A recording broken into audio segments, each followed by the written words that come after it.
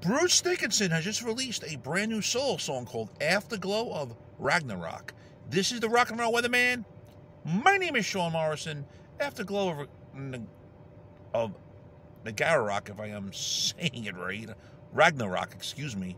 I think the song is okay. It's got good guitars in it, and um, you know, sound like the typical um solo music that um Bruce Dickinson has been putting out the last um few years. It's coming up his upcoming um solo album, The Mandrake Project, which is coming out in 2024 via BMG. Friends, if you're not subscribed to the Sean Morrison YouTube channel, please do so.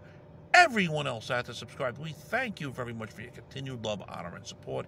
It's greatly appreciated. Don't forget to tell your friends to subscribe to the um Sean Morrison YouTube channel. So please give this song a call. Afterglow of um Ragnarok. It's the um brand new single from Bruce Dickinson coming off his upcoming solo album that's coming out in 2024 via BMG called The Mandrake Project. And give it this song a listen again.